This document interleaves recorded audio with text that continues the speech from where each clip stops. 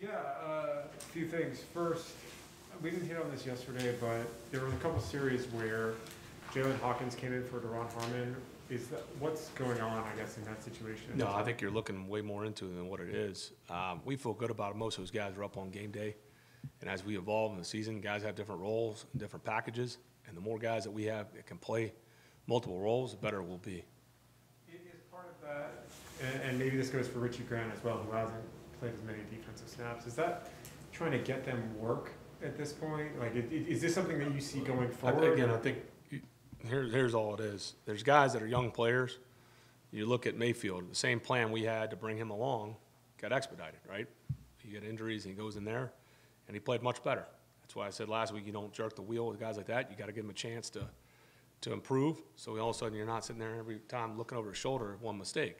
And then at some point, in you know, during a game or if it's going really wrong, you got to maybe shake things up. But like, I don't want, got to give guys the chance to bounce back and play through mistakes. It was a rookie in his first game. You look at Richie. Rich- Richie's having a, a big impact right now on special teams. We think Richie will have a long, productive career, and there's a right way. And Erik and Duron are, are very uh, smart, savvy vets. And then Hawk, same thing. And those guys have been productive on teams. You know, the more you can get, the more versatile. I mean, it's a long season. And so the more you can build different personnel packages, the better off we'll be.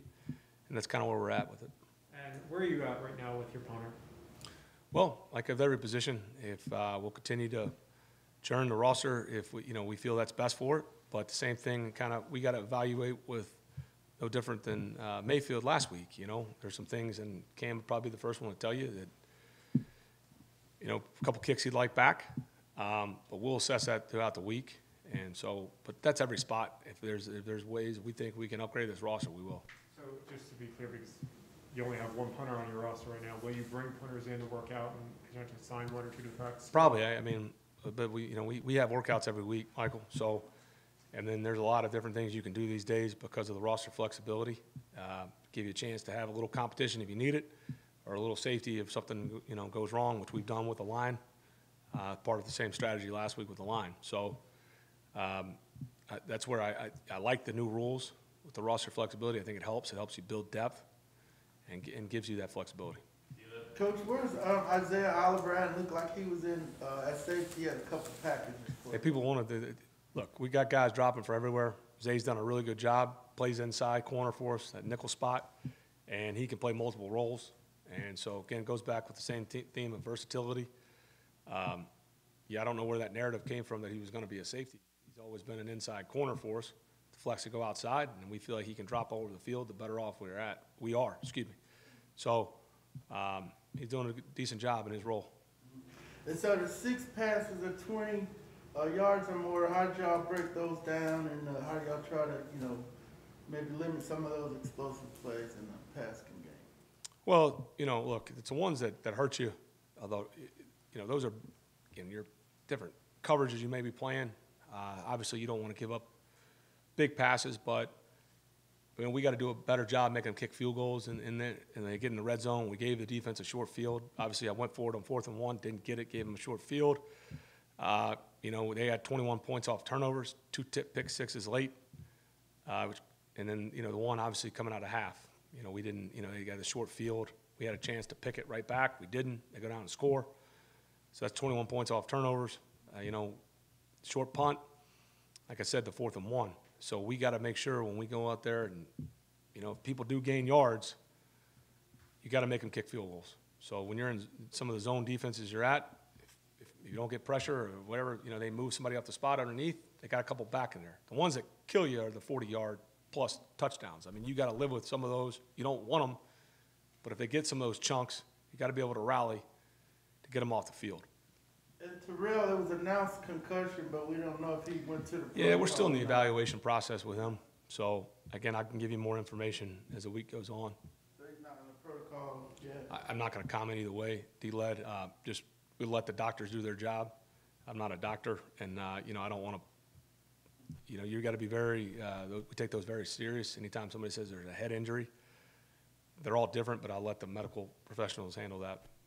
Um, will y'all look at the short yardage package given, uh, Sure, What we're to look at happened, or- everything. Look, or that was just a tough team, I, you know? there's a lot of things you go through there, and as a play caller, hey, what could I have done differently? Um, you know, the the thing is, some of those, you gotta get the play started. Uh, You know, multiple reasons, we, we weren't all coming off at the same time. Whether let the noise affect us or not, you know, then you're, you're backed up and, yeah, you look at everything. I mean, they did good job there. We gotta get off on the ball, give ourselves a chance. And then you look at other things you could do, uh, you know, where you're at right there. So it all comes into play. But that's, that's every week, D-Led, you know, when things don't work, you got to start, hey, schematically, what could I have done better? You look at some of the personnel matchups. They are tough. They pack it in there, and that's why you, I think you saw some, there's some productive runs, uh, other spots. There's things that we felt we could have done a better job of. Um, but yeah, cer- certainly, that, that, that's all fair, D-Led. When things aren't, you don't convert third and one, third and one, and fourth and one, it keeps you up at night. And, uh, just back to the secondaries, we saw a lot of TJ Green, how's he doing? Somebody I might have to. Yeah, no, he's, he's another guy, you know, he started out at safety. Um, you know, he's got to have an impact for us on fourth down, and he came in there, and, um, you know, obviously, the, the one that's gonna get highlighted, you know, you get the red zone matchup right there, one-on-one, but in, in the scheme of things, and the same thing with the rush plans, um, you know, everybody, you know, when you can just win one-on-one, certainly up front, or in man and, and coverage, those are the plays that, you know, to me, there's, there's a few guys that do that, do it well consistently, but I thought TJ competed, played well into the scheme, like everybody, just like coaches. There's things you wouldn't, you wish you had back. I'm sure the players feel the same way.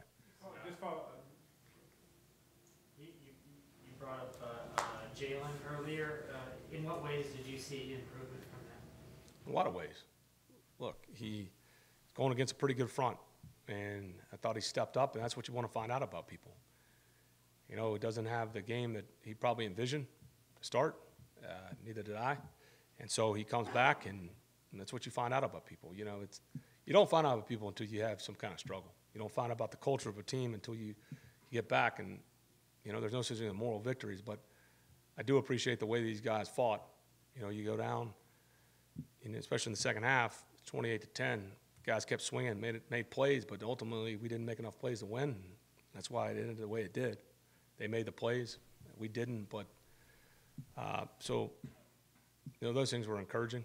But that, that's what you find out about players and coaches when things aren't going the right way. And I, I think that you got to give Mayfield a lot of credit. Nothing was perfect. There's always things we can clean up, but he stood up and he blocked some of the better guys in the league. We obviously saw um, um, um, Pitts make some nice catches, but how has he continued to learn from each tape and continue to grow? Have you seen that kind of steady Absolutely. improvement? Um, I think there's a lot of things Kyle proved yesterday. There's some of the things that'll never go on the stat sheet. You watch a tape, uh, you know, handle a lot of different jobs, which makes us better as an offense when he can do that. And, you know, he can play multiple roles for us. And so as he continues to grow and develop, I mean, that's why, that's why we drafted him. And so that's encouraging to see. With, uh, with those batted passes, uh, it, it's, I'm asking, is that an offensive line thing or is it, is that a It's a combination of everything. Uh, You know, where you're at, you know, obviously you look at those, you know, the, the ones that happen, you know, when you're, depending on the scheme you're running. Um, You know, uh, we dropped back 48 times, give or take, and, uh, which was encouraging. Now you're talking about growth from the week, from week one to week two, and that's just the flow of the game, um, where we needed to go. But I think a lot of times too, we got to do a better job of understanding when guys aren't rushing, guys are tired, it's a hot, it's physical, you know, that's gonna get that mush rush, and they did a nice job getting them, and we gotta continue to work on that stuff to make sure that we can get those guys down, and we gotta look at what we're doing schematically as well. And the big serious question here, what about Matt on that little athleticism? guys we were gonna speed. So, uh, Is there a thought, I mean, I know you said that with AJ, you're still taking it kind of day to day, but is there a thought that, you know, you're talking about flexing Isaiah out? I mean, is there a thought in, in maybe trying that out this week? I mean, all options on the table. You know, we'll have to adapt. We'll have to see where AJ's at. Um, but we got guys that can fill in and play multiple roles. So whether that's TJ, you know, Darren Hall, Zay, I mean, it just depends. And we'll, you know, we'll know more as we game plan and see the, the health of the, of the team getting into Wednesday.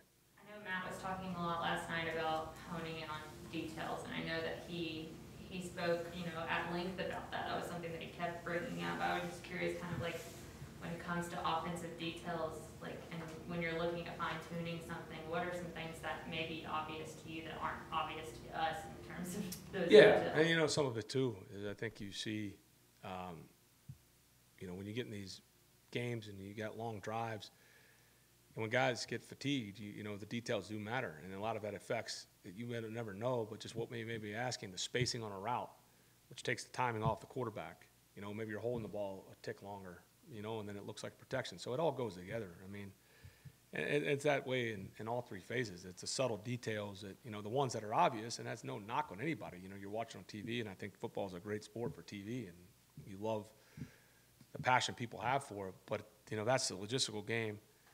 I call it the game within the game. You know, the unintended consequences. Guys get tired. You know, that's where that's the stuff keeps me up at night too. You're, you know, you're, we're not at the right depth, maybe here or there. Um, there was a lot of progress made, but not enough. And when you're playing really good teams on the road, and you know, we didn't we didn't make enough plays at the end, and that's why it got away from us. I want to, go you know, I want to go back to what you talked about with TJ Green before.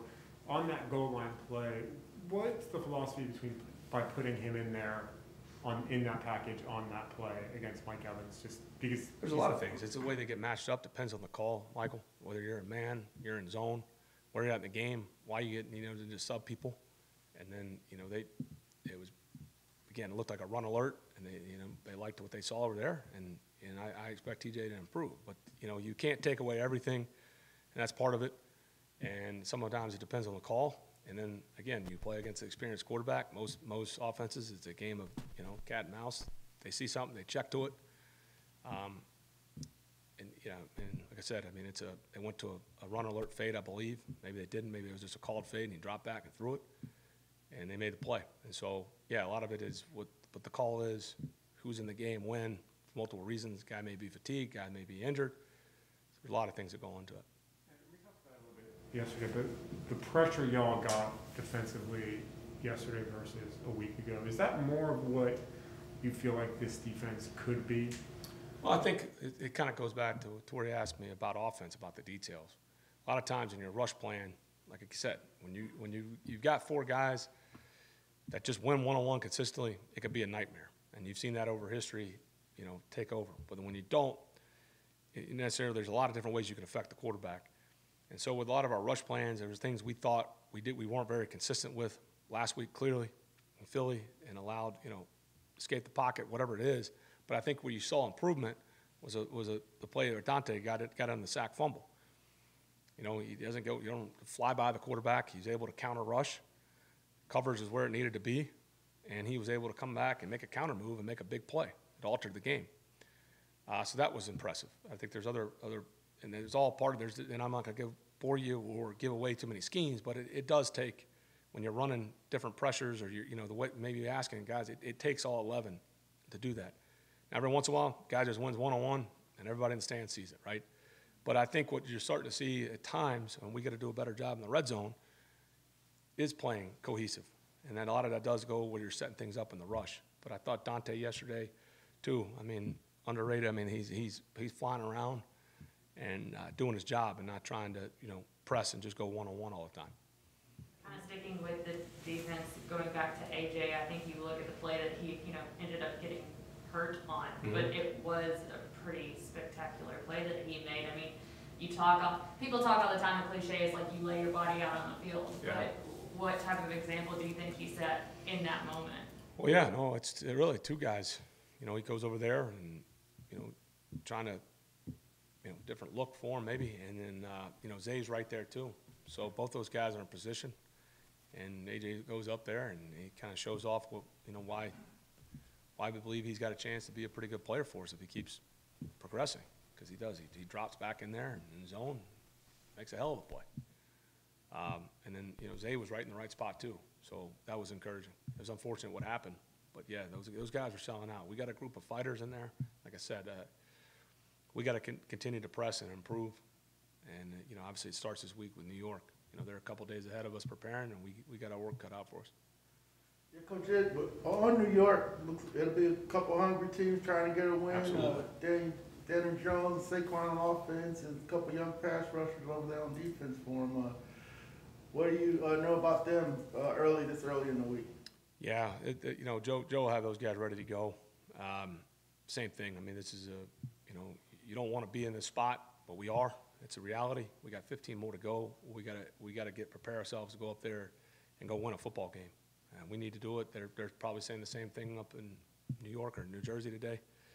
And so, we know it's gonna be a challenge. Go on the road. It'll be a tough football game. There'll be sound. It's a good scheme.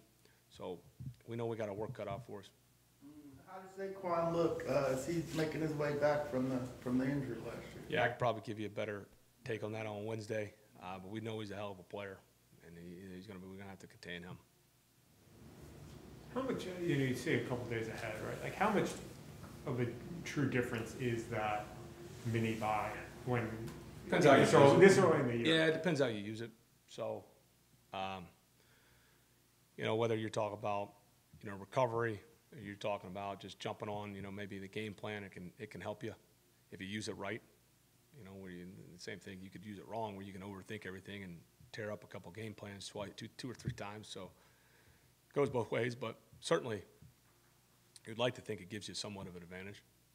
better it sometime? Because, you know, it's- look, some Sure. Is it better to have it like now, or like when you guys have it in November, or having the early, having the early normal bye? Yeah, um, you know, it just depends, you know, one of those years, if you're, if you're really beat up and you're able to get guys back, you, you would love to have that, the real bye late in the year, but it is what it is, you know, it's, it's a, they make the schedule and we gotta adapt, that's what they get paid to do, to make the best decisions for when Terry and I meet and go over as entire football staff, how do we wanna handle the early bye? Obviously, we're going to London, which adds a different dynamic when you come back. And then what I call a mini bye, those Thursday night games.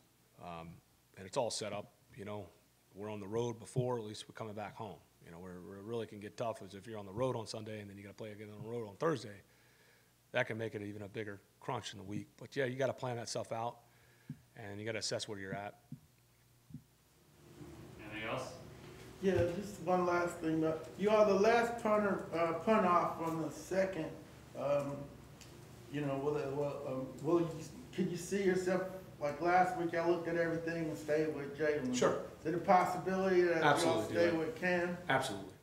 You know, it's, as you guys know, uh, I tell you, it's a, it's a, it's a tough, tough business, uh, but we all know what we signed up for, and so there, certainly, so you get in there, and we got, we gotta make sure we're doing the best, make the best decision for this team, but we also, at the same time, and there's some positives Cam's done, and so we, we, you know, I can probably give you a better assessment on Wednesday, just like we talked about with Jalen last week. You know, you- it's a fine line of, of not going crazy, jerking the wheel, but also giving yourself some options and, and some competition if you, if we feel that that's best for us. But nothing's off the table, Eli. All right, appreciate it, guys. Thank you all. Thank you. All right. Appreciate it all.